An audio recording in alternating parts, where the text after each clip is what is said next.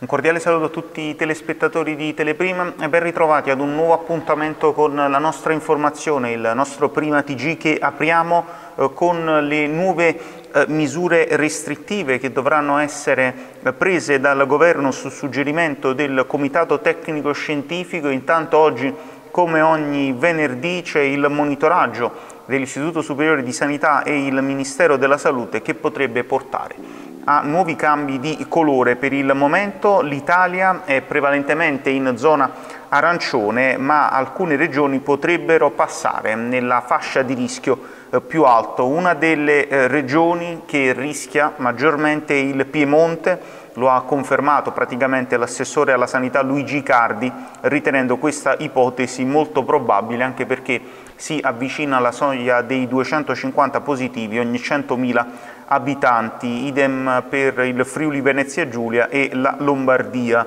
Eh, ci sono poi due regioni che ufficialmente sono in zona arancione ma che al loro interno hanno molte chiazze rosse, sono le Marche e l'Emilia Romagna e a cambiare colore potrebbe essere anche la Puglia che dovrebbe passare da giallo ad arancione con delle punte di rosso in alcune aree. In ogni caso le nuove norme entreranno in vigore non prima del prossimo eh, lunedì.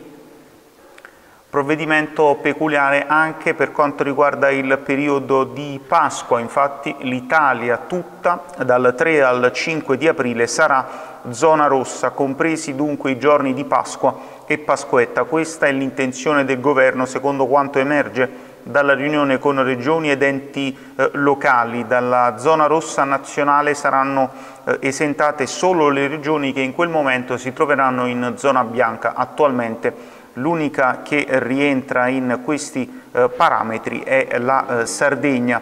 Eh, anche il Ministro della Salute Roberto Speranza avrebbe ribadito che appunto in, durante le festività di Pasqua viene disposta la zona rossa di carattere nazionale, tranne appunto la zona eh, bianca.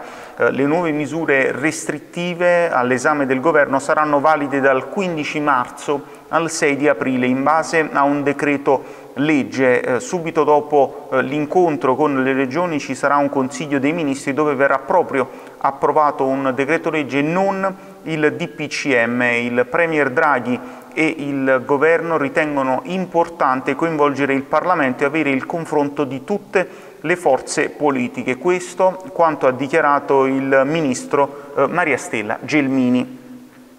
Ora i casi Covid nazionali sono 25.673 i nuovi eh, positivi al test nelle ultime 24 ore secondo i dati del Ministero della eh, Salute. Il tasso di eh, positività sale al 6,9% con 373 nuovi deceduti. Aumentano sia i ricoveri ordinari con 365 posti letto in più, sia le terapie intensive con più 32. La eh, regione che fa contare più casi nelle 24 ore è la Lombardia con 5.849 casi, seguita dalla Campania con 2.981 e l'Emilia Romagna con 2.845. Nel totale nazionale i guariti sono stati 15.000.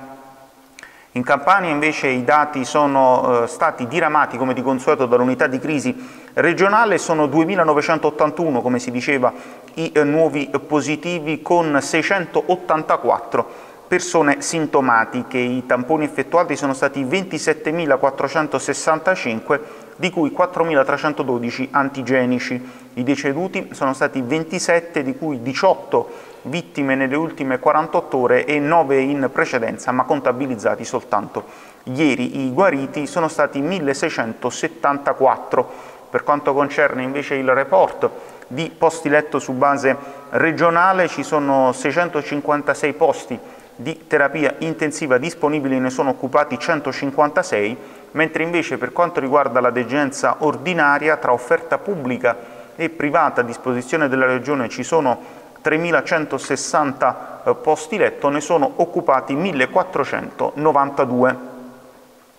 Ora il caso di AstraZeneca, la situazione è delicata non solo in Italia ma in tutta Europa perché aumenta con il passare delle ore il rischio che la psicosi prevalga sulla fiducia dopo i tre casi sospetti dovuti alla morte di persone che da poco si erano appunto vaccinate con il siero di AstraZeneca. Sotto osservazione c'è il lotto con la sigla ABV 2856 che riguarda circa 500.000 dosi commercializzate in Italia e in Europa che sono state sequestrate eh, dai NAS in una buona parte non ancora utilizzate. Quella partita di vaccini era destinata in gran parte a personale scolastico e forze eh, dell'ordine, soprattutto per la scorsa settimana e l'inizio di questa, ma appunto dopo le notizie che si sono iniziate a diffondere nella giornata di ieri ci sono stati molteplici dubbi in tantissime regioni con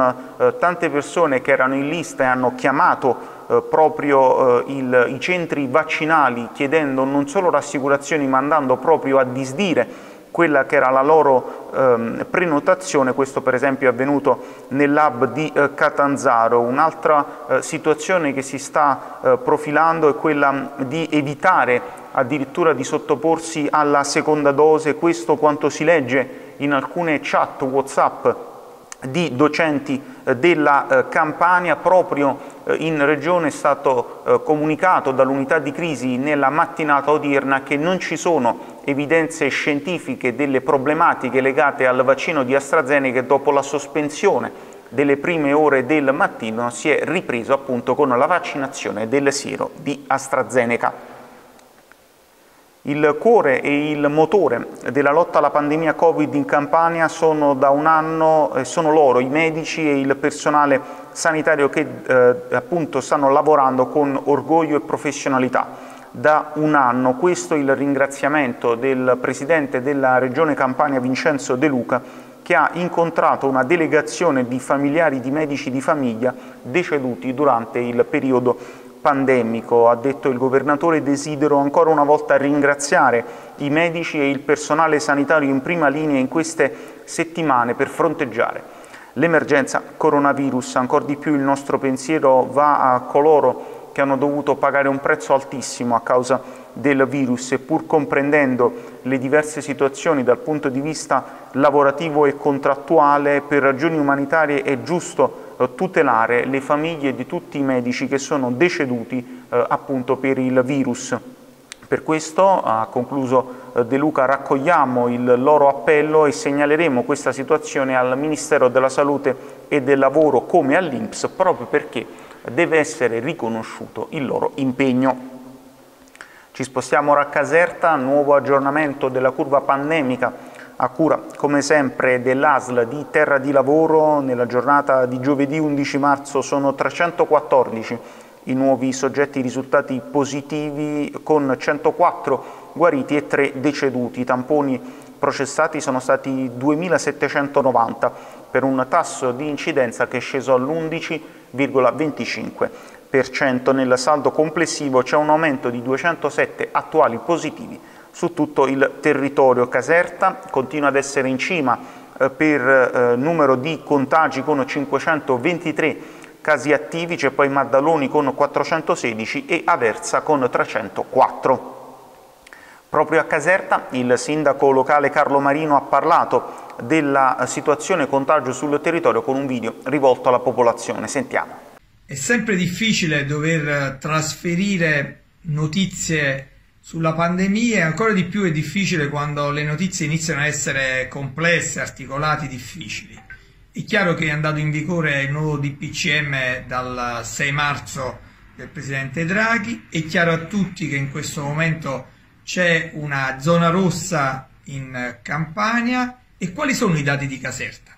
Con voi li voglio analizzare per cercare di capire quali possono essere le nostre correzioni o la nostra attenzione rispetto ai dati che ci preoccupano ed è sicuramente un momento particolare perché abbiamo superato la soglia anche psicologica dei 500 casi positivi in città, abbiamo fortemente un indice, um, un indice RT, quindi epidemiologico che è in fase di crescita. Abbiamo ancora un dato che, eh, di percentuale inferiore alla media regionale, però è tutto in crescita. Questo significa che dobbiamo stare attenti dobbiamo evitare di uscire, siamo in zona rossa, si esce soltanto per salute, per motivi di lavoro, per stato di necessità.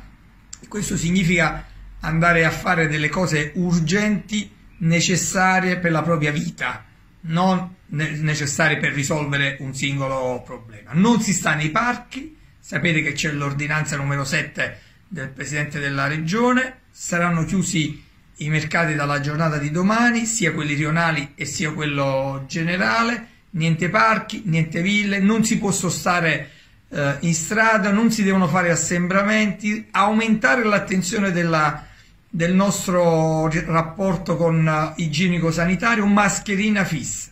Diciamolo ai nostri ragazzi, diciamolo ai nostri anziani, attenzione, dobbiamo restare a casa.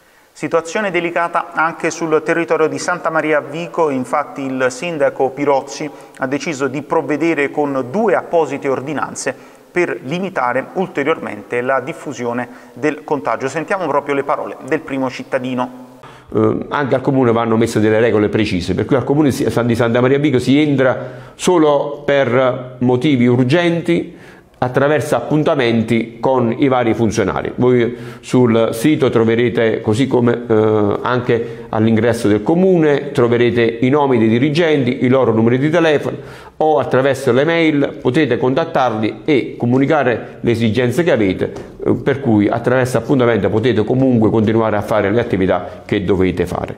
E questa eh, ho emesso un'apposita ordinanza, la 65 eh, del 9, e eh, poi ieri ho, ho emesso un'altra ordinanza che, tocco, che, tocca sicuramente più da vicino la nostra libertà, è la 67 del 10 marzo, la quale ordinanza ovviamente eh, limita eh, le uscite, ovviamente noi dobbiamo uscire solo se abbiamo da fare delle cose urgenti e indifferibili nella nostra eh, regione Campania, zona rossa, e per cui le limitazioni già vi erano. Noi eh, abbiamo voluto, eh, visto i fenomeni del fine settimana, nelle piazze, nei parchi, tra, nostre, nei parchi giochi, la massima affluenza dei giovani e meno giovani, abbiamo ritenuto di intervenire vietando eh, la sosta e la permanenza nelle piazze, nei parchi giochi e nelle aree a verde. Questo è un dato essenziale. Eh, da stamattina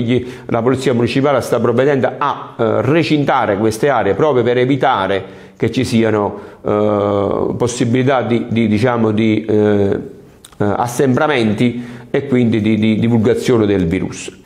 Chiudiamo con il calcio, il Napoli prosegue il cammino di avvicinamento alla sfida di San Siro contro il Milan e sul punto è sempre più probabile il recupero del messicano Lozano, come ha confermato il suo entourage, anche se non per tutti i 90 eh, minuti. Gattuso potrebbe optare per Osimen al centro dell'attacco in ballottaggio con Mertens eh, dietro in, eh, sulla tre quarti giocheranno Politano, Zielischi e Insigne in difesa a ballottaggio Rachmani e Manolas per affiancare Koulibaly sulle fasce eh, Mario Rui e Di Lorenzo in mediana Demme e Fabian Ruiz. Il Milan invece emergenza in attacco Pioli dovrà fare quasi sicuramente a meno di Ante Rebic al pari di Ibrahimovic e Benasser in attacco confermato Raffaele Leao a centrocampo coppia di eh, centrocampo con eh, Meite e Franchessy, autore di una grande prestazione nella eh, serata di ieri contro il Manchester United. Infine il Benevento, un componente dello staff sanitario del club campano è risultato positivo al Covid, è un membro dell'equipe medico-fisioterapica presente nel gruppo che ha seguito la squadra nella trasferta dello scorso sabato alla Spezia. Come da protocollo sono scattati tutti i controlli per i collaboratori del club e per quanto riguarda i calciatori non c'è eh, nessuna positività riscontrata nel giro di tamponi cui si è sottoposta la eh, squadra, proprio il club infatti eh, si è sottoposto a questo test e contestualmente anche ai test sierologici attraverso i quali appunto si potrà individuare l'eventuale presenza del virus all'interno appunto del, dell'organismo dei giocatori. Con il calcio chiudiamo questa edizione del nostro telegiornale, vi ringrazio per averci seguito e vi auguro un buon proseguo di giornata, arrivederci.